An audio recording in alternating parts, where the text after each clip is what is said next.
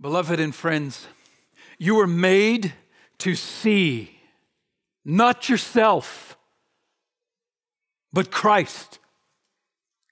You were made to see not yourself or even the creation, but the Creator. And your view of Christ is vital to your worship, to your walk, to your witness. There's nothing more essential, necessary, indispensable to our singing than our viewing, our understanding. So, my prayer is that through this series and this message in particular, that we would see Christ, see Him in the glory of His resurrection, ascended and seated. We were made for this. I have one aim this morning, and that is to put the exalted Christ before you. One aim to call every heart to honor him, to adore him, and to bow to him. One aim to put the exalted Christ before you to see. That's my prayer and my goal, my aim, my heart's desire. We have seen over the series these last three weeks that the resurrection and the ascension and now the session of Jesus are all part of one grand reality the exaltation, meaning the lifting high of Christ. It is all part of the exalting of Jesus. Acts chapter 2, this is what the apostles preached. Chapter 2, verse 32. This Jesus God raised up and of that we are all witnesses. And verse 33 nails it. Being therefore exalted at the right hand of God. And that's where I want us to look today. Exalted at the right hand of God. I do believe that the crown of Christ's exaltation is best seen when he's seated at the right hand of the Father. His exaltation, his crowning glory is best seen when he's seated. There's a great deal of stress that's necessary on this idea of him being seated. Perhaps more than any other, it portrays vividly a climactic vindication he is vindicated from all humiliation in that we see him seated. Being seated is something that is summarized at the close of the Gospel of Mark. 16, 19, it says, So then the Lord Jesus, after he had spoken to them, was taken up into heaven and sat down at the right hand of God. It's a foundational article of our faith. We just recited it in the Apostles' Creed that we believe that Jesus suffered under Pontius Pilate, was crucified, dead, and buried, and on the third day rose again from the dead and ascended into heaven and sits at the right hand of God the Father Almighty. That same stanza of him sitting has been treasured by Christians for 2,000 years throughout their history, in their creeds and confessions and catechisms.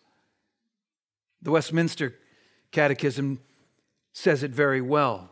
Question 54 How is Christ exalted in his seating or sitting at the right hand of God? The answer Christ is exalted in his sitting at the right hand of God, in that, as God man, he is advanced to the highest favor with God the Father, with all fullness of joy, glory and power over all things in heaven and earth. Period. It is the crowning of his exaltation, the crowning of his glory.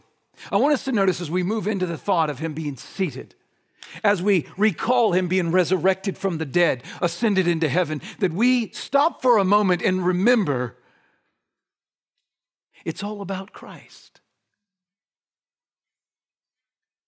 These grand realities are first about the giver, not the gift. They're first about Him, not us. We were made to see Him, not self. Our greatest joy is going to come from seeing greatest glory. We need to first stop and remember the supremacy of Christ in all things, because that's what Him being seated means. Just put it in your hearts. Seated equals supremacy. Seated equals supremacy. It's the supremacy of Christ that I am so interested in. What he does for us is a glorious thing that deserves all praise forever and ever and ever. But what we need to see is that what he does for us in the cross actually enables and causes us to see. It enables and causes us to have joy in his glory. So that our purposes and ambitions, our appetites and cravings are centered and driven in the exalted Christ, on making much of Him. Christ is our greatest need. I know many of you come in this room with, with tremendous needs, uncertainties, sorrows, pains, and suffering, worry, doubt. And I know many of you are so occupied and caught up with the things that the world is telling you you need in your appearance, in your pocketbook, in your health and strength, in your mind and knowledge, in your feelings, in your relationships, in your possessions. The world is telling you, no, this is what you need to be happy. No, this is what you need to be happy. Or this is what you need to find comfort. Or this is what you need to feel safe. Or this is what you need to have hope. If I might say it very carefully, but very directly, what every one of us needs is an exalted Christ. What we need is Christ. And that is why my aim is to put it before you. Not because I disregard your need, but because I'm making much of your need. The only satisfaction to your need is found in Christ. But every one of us lives in a 21st century affluent area that is constantly working against your heart, vying for your attention and your affections, to love and to be distracted with nonsense and puny, pathetic, temporary lies and false counterfeit delights. And I, my prayer from every one of you is that you see the all satisfying glory of Christ. That's what I want you to see when you see him seated. Look with me at Hebrews chapter 1. Long ago, at many times and in many ways, God spoke to our fathers by the prophets. But in these last days, He has spoken to us by his Son, whom he appointed the heir of all things, through whom he also created the world. He is the radiance of the glory of God and the exact imprint of his nature. And he upholds the universe by the word of his power. after making purification for sins, he sat down. He sat down. He sat down at the right hand of the majesty on high. The thesis of the book of Hebrews is the supremacy of Christ. He is greater and he is better than any and every other thing, even the most holy things of God. It's the supremacy of Christ. And right here we see that supremacy presented in wonderful portrayal. There's a chiasm that I want you to notice just for the sake of seeing what Hebrews is aiming at in talking about this Christ being seated. What it's aiming at is first, the chiasm means it makes like an X. So it crosses down to the middle, it's the main thing, and comes back and corresponds at each point along the way. So the outer bounds, the first and the last, is going to be simply about him being Son of Man. And you'll notice it right there where it says in verse 2 that whom, so after the whom statement, it begins this chiasm. So in the last days, he has spoken to us by his Son, whom he appointed the heir of all things. So here, here he is, this Son of Man is, is to inherit the created order. B, so that's A. B stepping in says, Oh, but he's not, he's not a creature. No, he will inherit everything. He is high and lifted up, exalted above all created order. Eh, he will inherit it all. It is all owing and pointing to him. It is all from him, through him, to him, and for him. But he made it all. So he's not just Son of Man, he's also Son of God. He's not just human, he's deity. So notice deity comes in when it says he created. Through him, he also created the world. And now, one last step to the very center has two parts to it, and it's simply this He is the radiance of the glory of God and the exact imprint of his nature. I just Love that. So there's the center of exalting Christ is going to be understand the dignity of his person. This is God. The radiance of the glory of God and the exact imprint of his nature. And then he goes back to the created order, doesn't he? Talking about him being God as one who created. Notice what it says now. He didn't just create, but he sustains. It says very simply, and upholds the universe by the word of his power. So he created all things by the word of his power, and he upholds it by the word of his power. That's B. Let's go back to A. A was that he's Son of Man, that he is human also. And here it is. After making purification for sins, he sat down at the right hand of the majesty on high.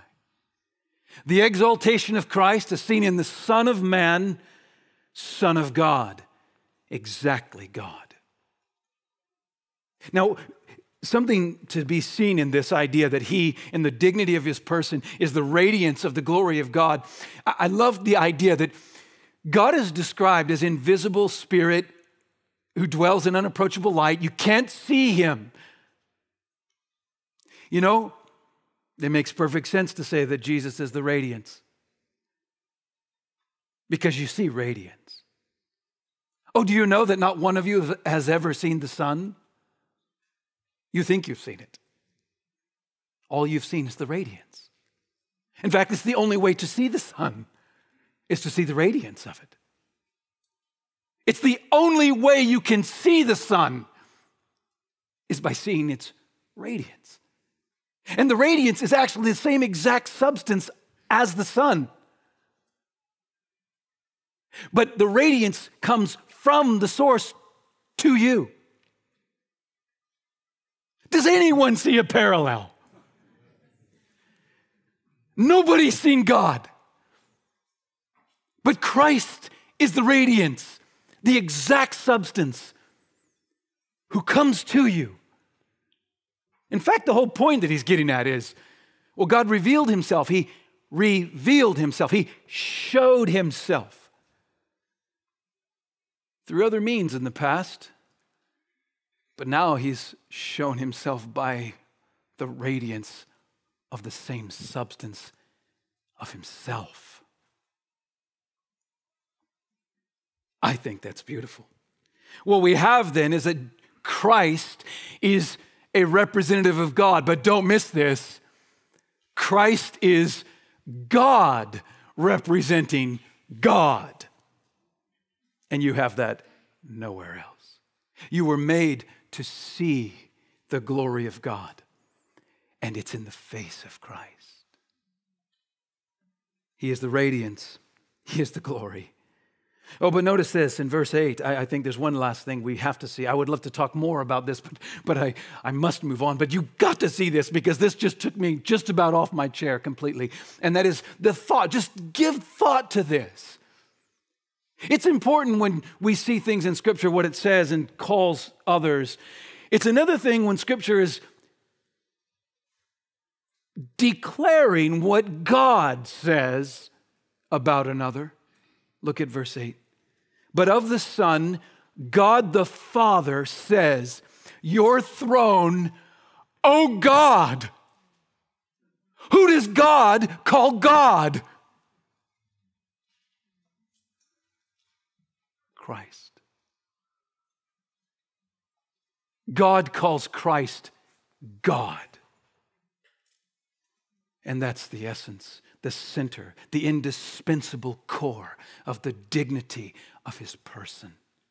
And wrapped around that is the humanity of him being the Son of Man, who, through his faithful, obedient life and suffering and sacrifice, he is the heir of all things, and he made purification for sin, and now alone is qualified to sit down. That's the point. I want to stress this little bit before I move into the actual uh, observation of the, him being seated, and that is We've looked now at him being exalted, that he, the, the, the, core of his person is God, and yet he is God man, and man is what is being exalted, not the God part. His deity is not being exalted. You can't exalt deity higher than deity. So that's not being exalted when he sits. It's the man part that's being exalted when he sits. It's the obedient servant part. It's the suffering Messiah part that's being exalted when it's the representation of humanity part that's being exalted when he sits. My point is, he is the mediator, and we've looked at that in both resurrection and ascension, but I want to just remind us once more he is the mediator. Christ's enthronement is not merely a reinstatement of, of what is his by right of deity, but it's actually an enthronement for the first time in history. That's why the scriptures say, that's why Hebrews says, Today I have begotten you. Because it's the enthronement is the ratification, the confirmation, the open public declaration that he is God man and the one who has secured redemption and reconciliation cosmically. So the issue is this is a celebration. It's a celebration that celebrates the joy and the reward of his accomplished redemption, his work of redeeming. It is an installment of a mediatorial representative.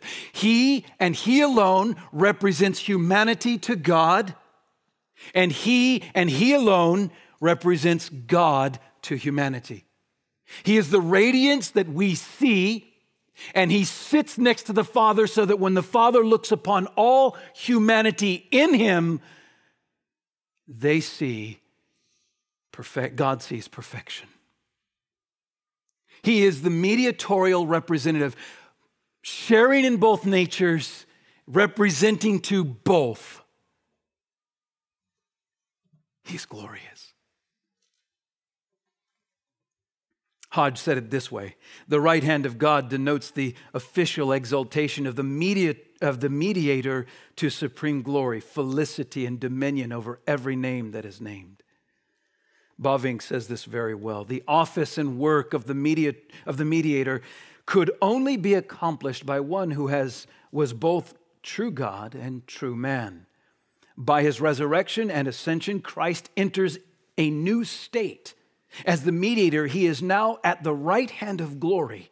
Though he was truly God in his state of humiliation, the glory was hidden. That's the key. So we finally have reached from the empty tomb to the ascension to heaven. We finally reached the goal of it all. And that is that he be recognized, that he be exalted and honored, and that not only all the humiliation reversed, but a celebration of joy and praise be lavished upon him. He is worthy.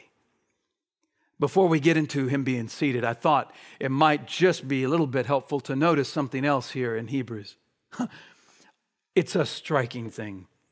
God ordained three offices by which God would mediate to his people. Notice I said he, Jesus is the, the, the mediator. So we should expect that he would fulfill all mediatorial offices. And those three offices that God ordained to mediate his rule and his will to humanity because sin has separated us, those three offices are very simple prophet, priest, and king. Now look with me one more time. Chapter 1, verse 1 of Hebrews. Long ago, at many times, in many ways, God spoke to our fathers by the prophets. But in this, these last days, he has spoken to us by his Son, the greater prophet. How about this? Verse 3 at the end. After making purifications for sin, he sat down at the right hand of the majesty. Purifications for sin, priest, above all priests.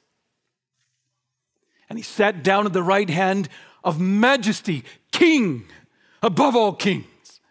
Right here prophet, priest, king. This is Christ in his glory. Now, I want to spend the rest of the time just looking at what does it mean that he's seated and how can you see that as something that speaks of his supremacy and his glory that that would compel you that would move you that you would worship and honor and adore him. Well, I want to look at what it means for Christ to be seated. Sessio in Latin means to sit. By the way, that's where you get the word session. So anytime you have a session, it means you're seated. What we see here is this that the resurrection, that the ascension are all means, not ends, but means to a greater end. And the greater end is that he's seated. These serve to make much of him being seated. The resurrection and ascension are the red carpet rolled out. The session is the celebration. Now he is seated on the throne. It is a state of exaltation. It is a state of supremacy. It is a state deserving of all worship and fear.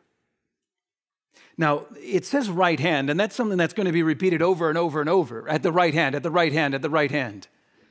And I just thought it would be important for us to understand exactly what does this right hand mean? Well, it's simple.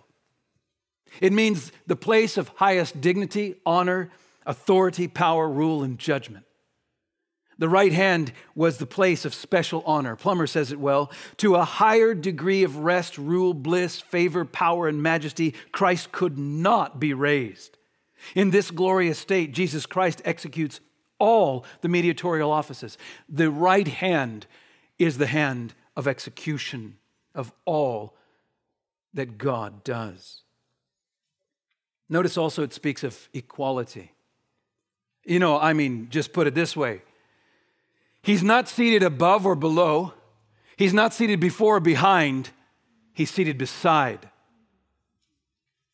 Paul writes in Galatians chapter 2 verse 9 when there was a conflict between Paul this Johnny come lately apostle and Peter and John and James over in Jerusalem. And the established apostles were saying, wait a second, what is this? What is Saul doing out there? Is this a trick? So Paul goes and visits with them and he lays it out and he shows them his heart for Christ. And you know what it says they did? They gave him the right hand of fellowship. What did that mean? And Paul writes that with joy in his heart to the Galatians. Look, I've got the right hand of fellowship with Jerusalem. It means I've been given equal partnership in the, in the message of the gospel, in the ministry of the church. So there's an aspect where right hand speaks of an equality. In fact, I'll just illustrate it one other way. I find it fascinating that uh, Ephesians 1:20 says that the Father seated Christ at his right hand. I find it fascinating because most of the time it says that Christ sat himself at the right hand. Let me give you that one then. Right here in our verse, verse 3, what does it say? After he made purification for sins, he what? He sat down. Can you imagine the audacity of you walking up and just, I'm going to sit down right there in the place of all power and authority and equality with God? But this Christ does. Here's, here's my point. If he sat down, and it means the same thing that the Father sat him there, it says something of equality.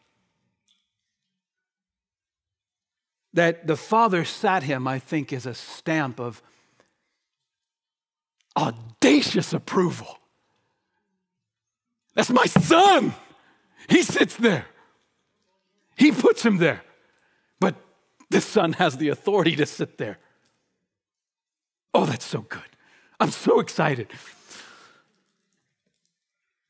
It also speaks of authority, right hand. It speaks of authority, power, rule, judgment. Like Revelation 13 associates with the throne power and great authority.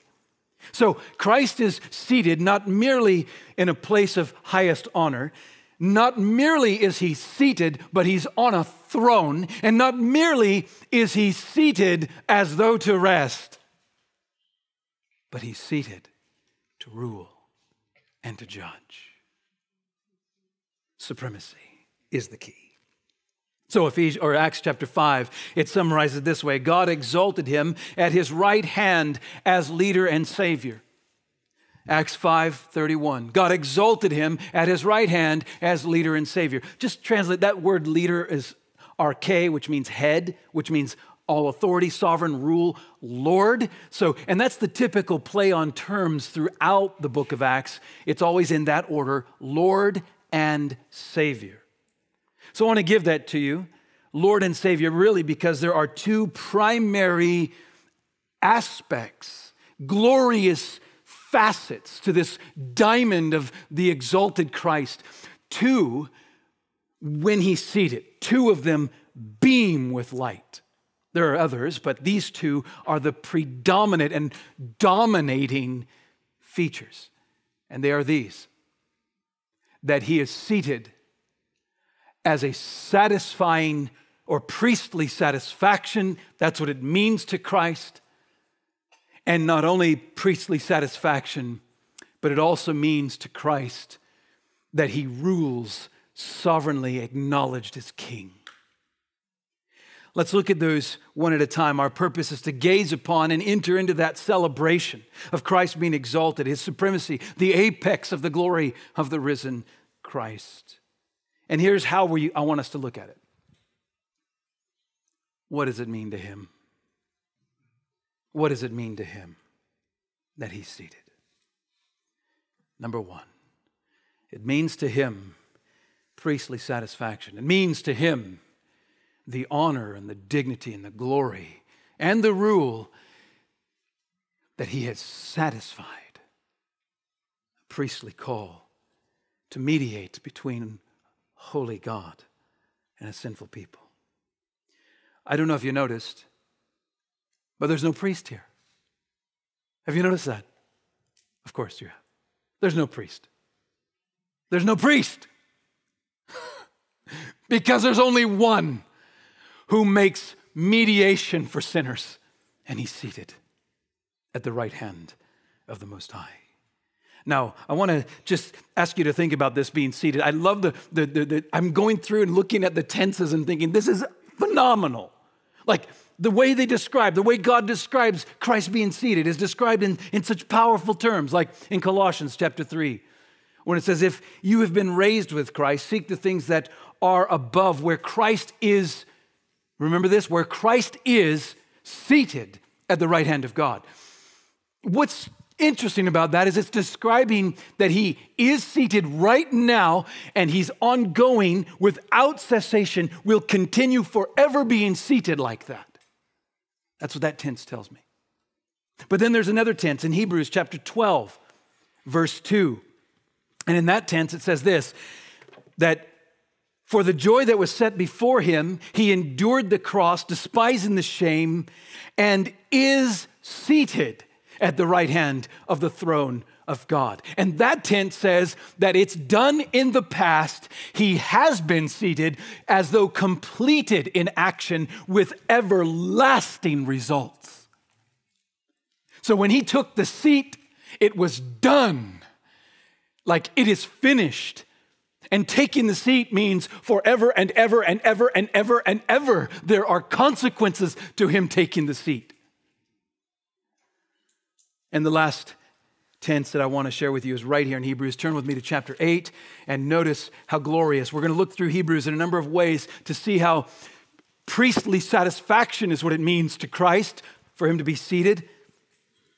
Look at chapter 8, verse 1. Now, the point in what we are saying is this I love it when scripture just, you know, just lobs you one. Here's what I'm trying to tell you. So it's an important point, right? we have such a high priest. And this is an odd thing one who is seated at the right hand of the throne of the majesty in heaven, a minister in the holy places, in the true tent that the Lord set up, not man. I love that. We have a high priest, one who is seated. Now jump back with me to chapter 6. Look at verse 19. I'm sorry, let's go back all the way to 5. 5, verse 5.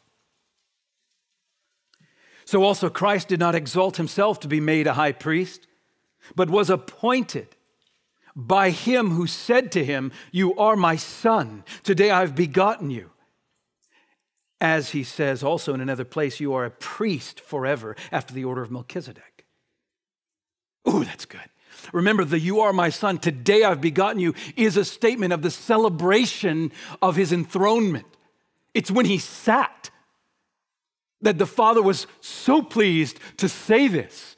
He already said, You're my son at the baptism. He said, You're my son at the transfiguration. He already said, He's my son. What does it mean then? It means right here, I want the whole universe to tremble that this is me as as though my son, as though a part of me right here, seated, who has taken on flesh, now seated as a priest. Oh, look at chapter 6, verse 19 now. We have this as a sure and steadfast anchor of the soul. Hebrews 6:19. A hope that enters into the inner place behind the curtains. This is what I mentioned last week when I, when I shared how through the crucifixion, Christ, as though it were, takes his own blood and enters into heaven through the ascension to render the sacrifice in the Holy of Holies. This is what it's describing. Verse 20, where Jesus has gone as a forerunner on our behalf, having become a high priest forever after the order of Melchizedek. And now let's go to chapter 9. Hebrews 9:11. But when Christ appeared as a high priest of the good things that have come. Then, through the greater and more perfect tent, not made with hands, that is, not of this creation, he, Christ, entered once for all into the holy places, not by means of the blood of goats and calves, but by means of his own blood, thus securing an eternal redemption. For if the blood of goats and bulls and the sprinkling of defiled persons with the ashes of a heifer sanctify for the purification of the flesh, how much more will the blood of Christ, who through the eternal Spirit offered himself without blemish to God, purify our conscience from dead works to serve the living God? And drop down to verse 24. For Christ has entered not into holy places made with hands, which are copies of the true things, but into heaven itself. What he's saying is the Holy of Holies, the whole economy of sacrifice, the temple, everything, the lamb, all of it was just a copy, was a sketch, a flannel graph to tell the story of the real thing that was going to happen. And the real thing happened on Calvary. And the real thing of the priest happened when he ascended and brought it into the presence of the Father. And the real thing was finalized when he sat down. So it says, verse 25, nor was it to offer himself repeatedly as the high priest enters the holy place every year with blood, not his own. For then he would have to had suffer had to suffer repeatedly since the foundation of the world. You, you see the logic? A priest comes in with blood. The blood is from an innocent animal, one who didn't sin, but an animal nonetheless. And the blood would be sprinkled for the forgiveness, the atonement, the reconciliation of the sinner. But the priest sprinkles with a stained hand.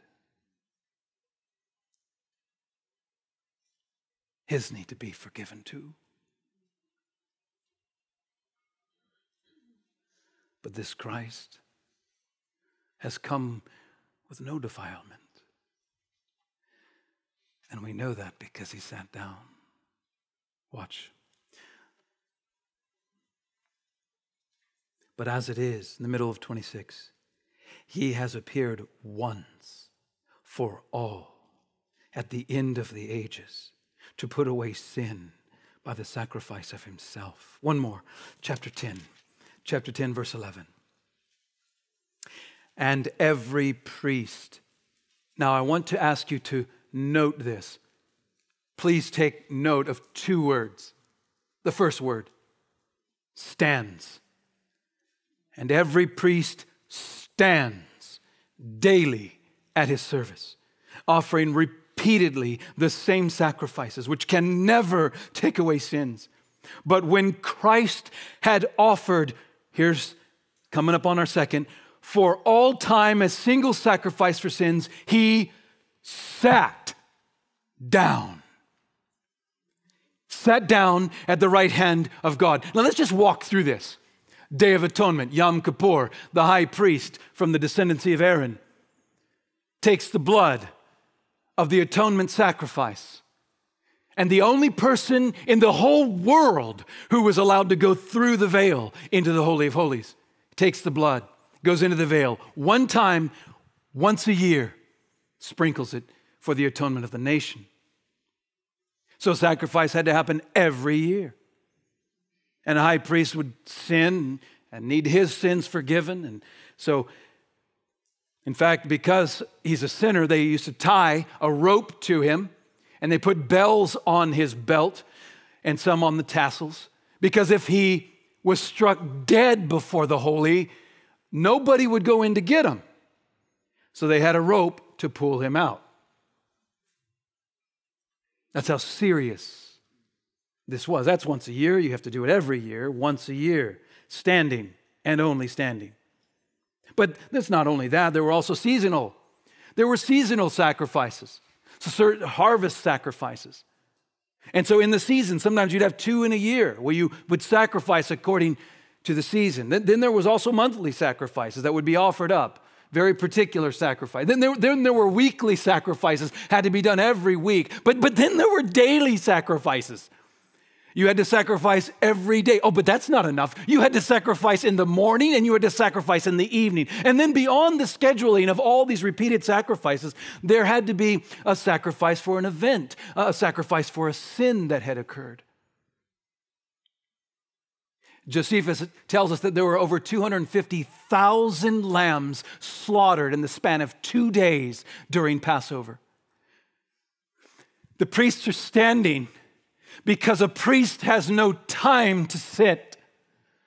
The priest's work is never done because people continue to sin. And the issue is sacrifice after sacrifice every year, every season, every month, every week, every day, twice a day. Every sin had to be atoned every single time. 250,000 lambs did not have enough blood to wash away the sin of the people. And this one priest drops one blood and he sits down. For the first time in history, it was done. Sin was atoned, never to be repeated. There's no need for a priest. He's it.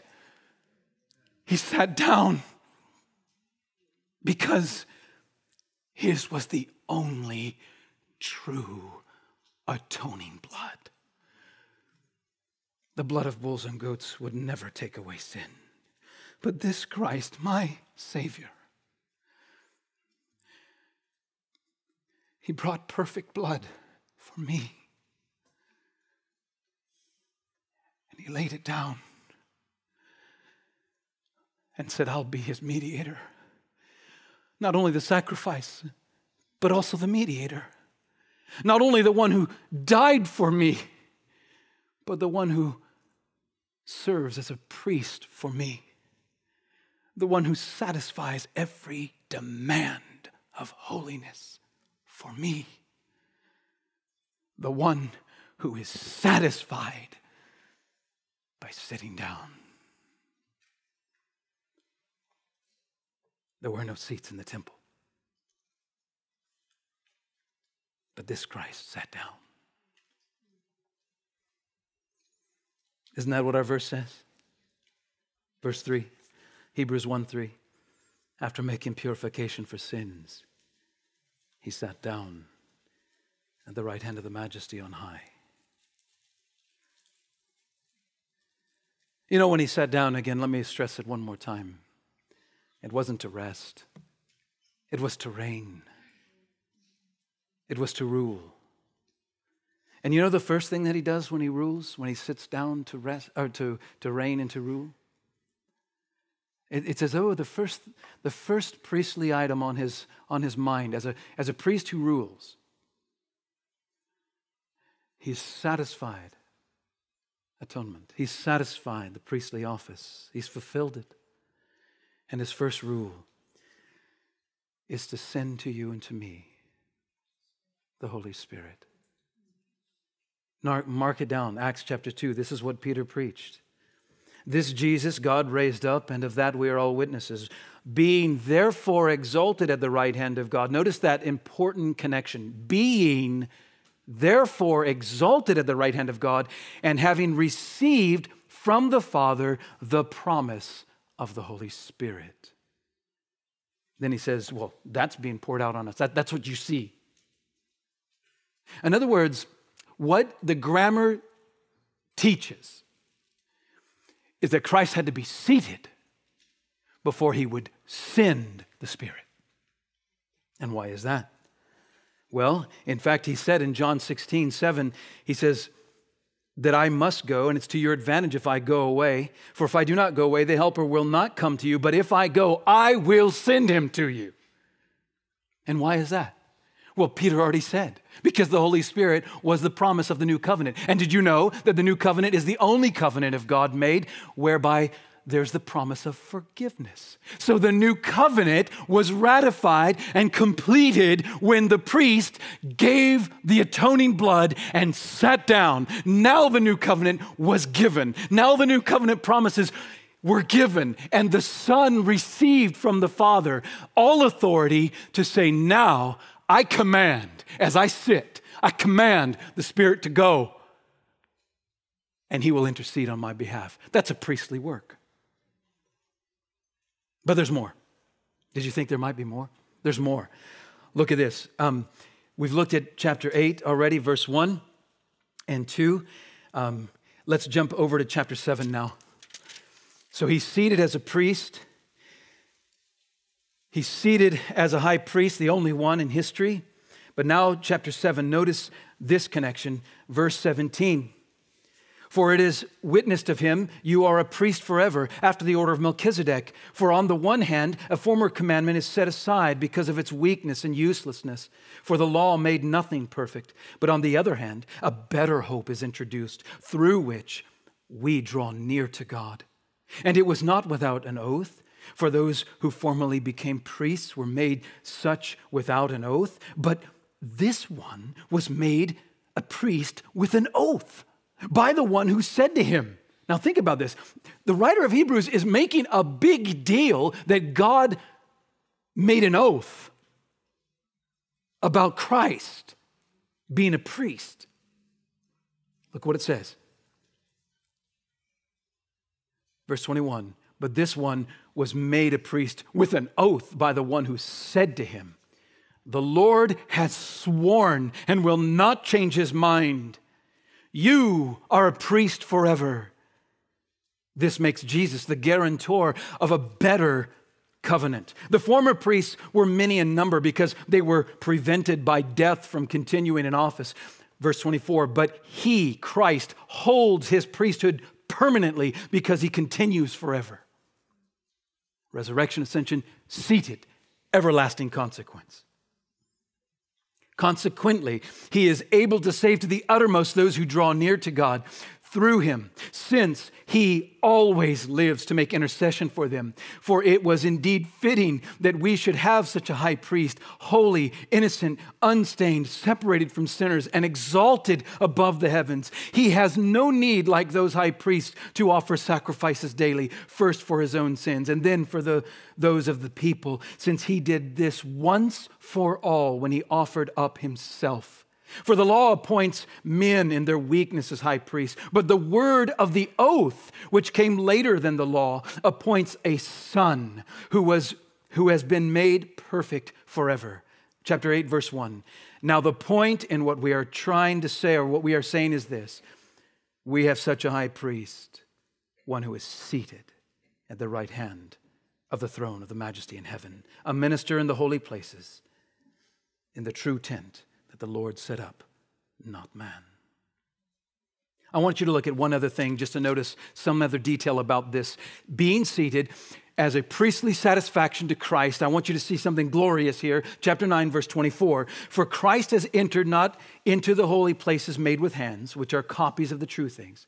Here's my phrase, but into heaven itself, now to appear in the presence of God on our behalf. Beloved and friends, listen. Do not picture the intercession of Jesus Christ. Do not picture an anxious, sort of desperate, pleading Jesus, worried about if the Father will hear him or not. Don't picture Jesus as anxious and pleading. That's not how he intercedes. In fact, let me just say it this way Christ intercedes like none else. No one can intercede like he intercedes. Because every other intercession is an intercession that points to a different source, that pleads to a different cause. He pleads our case, watch this, by his presence. You know, the scripture never shows him pleading with the Father after his exaltation. all it describes is that you have a great high priest interceding on your behalf because he's seated. Are you with me? Okay, that's crazy. What it, what it means, and the and reformers have, have, I wish I could just read to you a ton of things. They've described this so wonderfully and beautifully that the issue is it's his presence that effects intercession. It's done. He's not pleading, he's sitting. He's seated, and him being seated is enough. I love the way John puts it. 1 John chapter 2, verse 1.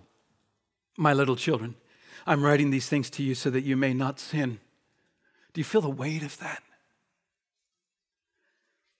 But if anyone does sin, if any Christian does sin, if anyone saved by the blood of the Lamb does sin, listen, we have an advocate, and the only thing he says is he uses this great little word who's with the Father. He's there, seated, and it's enough. When the Father looks upon you, he sees his Son, and it's enough. You see, he's seated as a priest, as though one endowed with unthinkable authority and power and righteousness. And that's really the issue righteousness, which I, I want to mention in just a moment. You know, reminded me as I was thinking about this how the priest in his presence will intercede. Do you know in the old covenant, the high priest had to have on his breastplate the names of the tribe? the names of the tribes, the 12 tribes of Israel. Remember that? And what was that all about? He bears them as he stands in the presence of God. He bears their name. And that's the idea. As this high priest sits in the presence of the Almighty, he bears your name. He is your representative, and he's perfect. What does it mean to Christ? Well, he is the delight of his Father, and his Father delights for him to sit with him. What does it mean to Christ? It means that now he can intercede for all that he purchased with no more work. He sits and his presence intercedes. He is perfectly righteous, and forever and ever he needs to do nothing else to atone. All he does is represent what he's already done. That's amazing. He's endowed with all authority, for he is the God man, mediator, Messiah. He has been resurrected from the dead, conquered death, because he's taken away the cause of death, the sin, and therefore he forever intercedes. He always prevails because no claim has anything on him. And he alone intercedes before the Father. He alone is our intercessor. Let me just ask you a simple thought about what do you, how do you respond to that? That what does it mean to Christ? It means he's, he's priestly satisfaction is it's there, it's done, he's satisfied, he sits, he celebrates that. So I ask you, if that's what it means to him, how should you feel? How should you think? How should you live? I mean, do, do you struggle? Do you struggle with sin? Do you struggle with doubt and assurance? Do you struggle with the fear of God? Do you struggle thinking, I, am doing this, I'm trying, I'm trying to say no. And I'm trying to do what you tell me. I'm trying to read. I'm trying to go to church. I'm trying to pray. And I just, I keep trying. What is it going to take for you to be satisfied? My son. My son. I'm satisfied in my son. So, where's your heart? Is it motivated by you trying to satisfy? You trying to atone, you trying to do a priestly work? Or are you motivated and compelled by a view of the one who loved you? My prayer is that you would get that. One last verse on this. How in the world does this clock go so fast? One last verse. Romans, Romans chapter 8, verse 34. Who is to condemn? Christ Jesus is the one who died. More than that. It's not just the cross. It's not just the cross. More than that, who was raised, who is at the right hand of God, who indeed is interceding for us. And therefore, the logic is what can separate you from the love of God in Christ Jesus? Can anything? Answer no. In his exalted state, his presence in this world would mean only judgment. You know that? Have you ever thought about that? John the Apostle fell as a dead man out of fear of seeing the exalted Christ. If Christ did not ascend, if he was exalted right now in this place, it would mean death and judgment and bodies. That's what it would mean. So it's a grace of God that he is seated with all things under his feet and graciously interceding for us. And I just, this one thought captivated me. This one thought just amazed me. Here is the one with all authority and all power and all justice and law on his side to condemn us. And instead, he sits to intercede for us. Isn't it ironic that the one with all authority, the, the point of his pinnacle, apex exaltation, is where he says, I intercede for you. That's where he would judge us the most.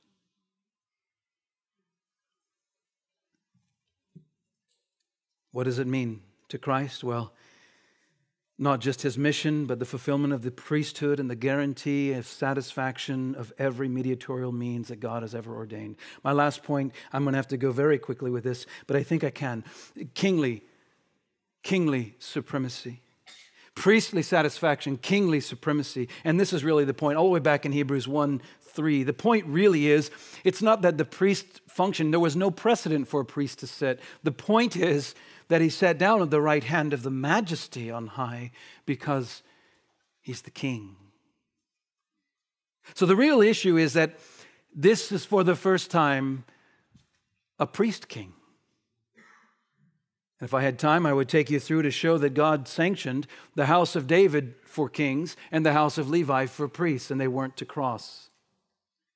In fact, Samuel rebukes Saul and says, You disobeyed the command of the Lord, and you will, he'll take the kingdom away because you offered a sacrifice like a priest. Or Isaiah going to Uzziah, the king who became proud and who came into the temple to offer sacrifice like a priest. And Isaiah said, Don't do that. You are the king, you are not the priest. And the other priest came with him, the high priest of the day, and many other men of valor came in, and he said, Don't do that. And he was struck with leprosy, a statement of being defiled and unclean and unworthy to act as a priest. And he died from it. It's interesting then that uh, Psalm 110, if I had more time, I would take you there. I'd love to show you how in Psalm 110 it, it says these two things in verse 1 and then later in verse 4, where it says, Sit at my right hand. You're the king. Verse 4 I say to you today, you are my son, you will be a priest. In fact, that's what Hebrews was quoting. It's an oath, a strong oath, because that's unthinkable to the Hebrew mind. Kings would die to play the priest if they played the priest. So the point is, Psalm 110 says, no, no, no, the Messiah is going to be both. He'll be the king and he'll be the priest according to the order of Melchizedek. Oh, that makes sense. Melach in Hebrew means king. Tzaddik means righteous. Melach tzaddik means the king of righteousness. Oh, and that makes perfect sense because this Messiah was to be the king of righteousness. And I would give you one last reference Zechariah chapter 6, verse 9 to 14. Maybe you can read it and you can see there that the prophet prophesied ahead of time that the Messiah, who's called the branch, is going to actually be a priest. He's a king who will come into the temple and set up a throne, and he'll sit on it. And Revelation 22 says, Yeah. And then I saw the throne of God and of the throne of the Lamb in the temple. I saw it. I saw it. Beloved and friends, I just need to close us with this idea of seeing the resurrected, glorified, seated Christ. There's much more we could look at in Ephesians where he talks about him being seated above all power, rule, and authority. We can look at 1 Peter 3, where it says, He has gone into heaven and is seated at the right hand of God, with angels, authorities, and powers having been subjected to him. And here's my issue because he's seated, it's a statement of his calm, in control reign. He's not anxious. He's not worried about the war in Ukraine. He's not worried about the economy or the presidency or the politics of the United States of America. He's not worried about the rising power of China. He's not worried about the academic system. He's not worried about our health problems. He's sovereign over them all. He is seated and our view of him needs to take this into account that all things exist and that all that happens or has ever happened is moving through time toward that climactic hour when every tongue will confess and every knee will bow, either by will or by compulsion, that Christ is seated on the throne and what we need to take into our hearts today is that sense of everything, everything, everything is under his sovereign rule and command. We need to take the idea that not a single hair on your head falls without him knowing. Not a sparrow falls without him knowing. Not a microbe is outside of his kingly rule. Particulate realities that we have not yet discovered all obey him. There's not one undiscovered force or factor, cause or purpose or means that is not under his perfect and exacting and detailed and specific sovereign control governments and courts and militaries and nations and schools and banks and politics and elections and nuclear war and, and terrorism and, and world religions and cults and atheism and universities and education systems and quantum physics and technology, sickness, terrorism, world religions, false teachers, demonic opposition, racism, education, economics, ecologies, weather, disease, Again, judicial corruption, school and public shootings, political negotiations, industry, transportation, science, all of it is under Christ who is seated. All of it. And what we need to do, and I'm not just here as an emotional charge, I'm really, really not. My purpose and my aim is simply this that until you see that, you will be worried. You will struggle. You will sin. You will think lightly of offending him. And this will be a game. Enough so that you can walk out of here five minutes later and go indulge yourself in nonsense that will mean nothing in a hundred years. This is the king. Do you believe it? Do you believe this, this faith that we have is not about us seeing ourselves, it is us seeing the exalted Christ, the glory of the risen Christ. It changes everything. Everything. Beloved and friends, don't fear, only Him. Fear nothing but Him. So if you are not in Christ, this is a time for you to repent. This is a time for you to know, despite all appearances, He's in control. and he will judge the living and the dead. And if you're in Christ, fear only him. What can man do to you? What can a virus do to you? What can economy do to you? What can a tyranny do to you? Fear him. One last verse. Don't just fear. Love and adore him. Treasure and cherish him. And be filled with hope and joy. For my God says, through David, who knew of the coming Messiah, at your right hand are pleasures forevermore. Come to him, adore him. Your view is vital. Let's pray. Thank you, Father, for revealing yourself in your Son. Apply these things to our hearts for Christ's glory, for the everlasting joy and hope of each one in Him. Amen.